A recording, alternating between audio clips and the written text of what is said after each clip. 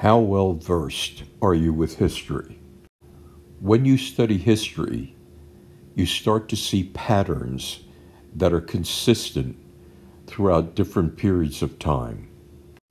The human condition is contingent upon being immersed somehow, some way in conflict, the conflict between good and evil.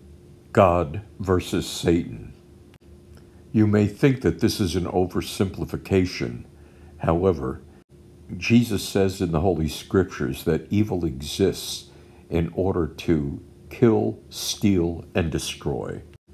Man is in a state of continual conflict. The majority are enslaved to benefit the few. When God told Moses to go to speak to Pharaoh in Egypt, it was because for 430 years the Jewish nation was in bondage, enslaved by the pharaohs of Egypt. The pharaoh didn't want to lose his labor force. It was all about power, money, and wealth.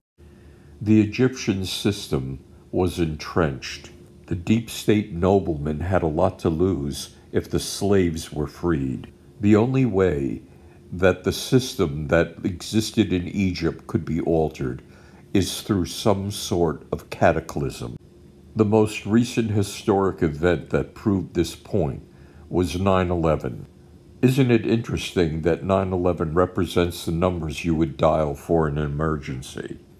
Isn't it interesting how the politicians of that day distanced themselves from the area, especially when the day before 9 11, Rumsfeld announced that $3 trillion was missing.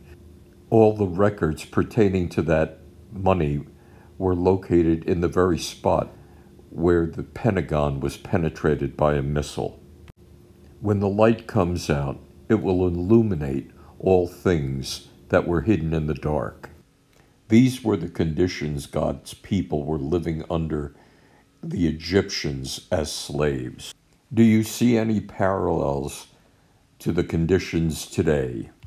Focus on Jesus Christ, not the problems and you will see the same Jesus that protected the Israelites from the angel of death when they applied the blood of the Lamb on the doorposts of their homes is the same Jesus that will protect you and your loved ones from any calamity that is about to take place as we transition from injustice to justice and we see the same transfer of wealth that took place between the Egyptians and the children of Israel before they left Egypt for good.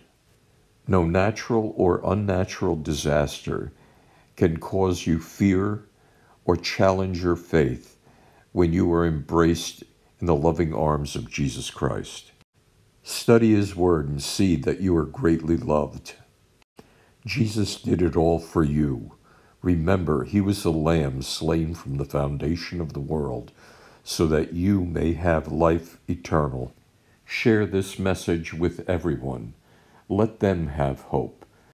Remember, Jesus inscribed you upon the palms of his hands. Your walls are continually before him. God bless you.